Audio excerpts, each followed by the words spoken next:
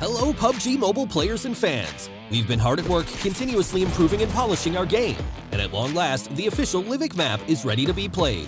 In the official release version of Livik, we've retained the beta version's fast-paced combat while also revamping the major urban areas. At the same time, we've added a new vehicle and new interactables to the map for everyone to enjoy. New urban areas. In the official version of Livik, we've substantially improved the look of many areas and revamped layouts for a total upgrade. This is all to give everyone a fresh combat experience. Midstein. First off, let's introduce Midstein. The gateway with the name of the area and the main street in the city are the new landmarks. With buildings of different heights, this area will give players plenty to think about when strategizing. Take the high ground advantage or battle in close quarters. Anything is possible. Blomster. In the new Blomster, the wide streets divide the city into many areas. This means that whoever gains a better view of the city gains an advantage in battle. Your opponents would not want to attack you from the streets. And don't forget to check out the soccer field. We prepared a surprise reward for our players in this newly added area. Logistics Center. The lumberyard was changed to the logistics center.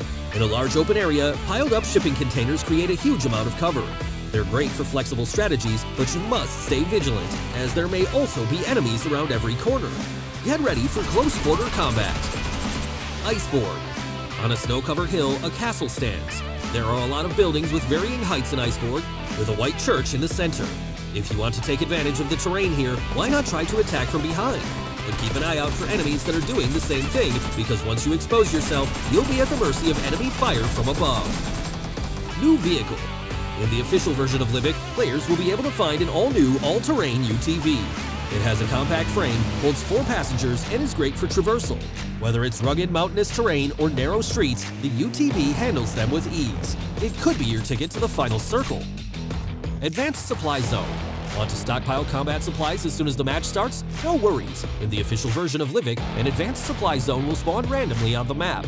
There are more resources than usual in this zone, but that also means more competition. If you're confident in your shooting skills, then give this place a try. Good luck! New interactive gameplay.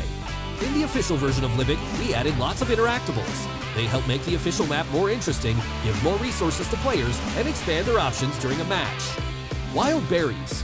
When you're out in rural areas of Livik, look around carefully, and you might just find some wild berries. Eat them to help you with survival, so that you can stay fresh for battles just around the corner. Soccer Challenge. There's a new soccer field in Blomster, but that's no ordinary field. Try to score a goal and see what happens. Excellent rewards await you. Storehouse. Breaking news. A batch of weapons has been delivered to Livik and they're hidden in the aqueduct. Destroy the wall with firearms or explosives to hoard the hidden arsenal for yourself. High-flying vehicles. When you find crates in hard-to-reach places, try looking around. This is a challenge for players that live in the fast lane. Find a nearby motorcycle and ramp to reach those crates and get the rewards prepared for daredevils. Zipline. Zip lines will be added to the official version of Livik, giving players a way to move quickly from two fixed points. It will help you escape from enemies or the blue zone when in a pinch. Random supplies and treasure maps. In the official version of Livik, equipment and item crates will spawn randomly, giving you more ways to get items. Also pay attention to the treasure maps on the map because they help you locate supply crates nearby, so that you can get to them quickly. Airdrop markers. Recall Tower. In the official version of Livik in Ranked Classic mode, we will bring back the Recall event for a limited time. Getting defeated no longer means the end. Every player can be recalled once. When a recall is still available, players will be able to recall teammates for a period of time after they are defeated. We also added new quick chat voices so teammates can communicate better when recalling. As for players that are being recalled, we've also improved their vision when returning to the battleground so that they can better rejoin the battle immediately after landing.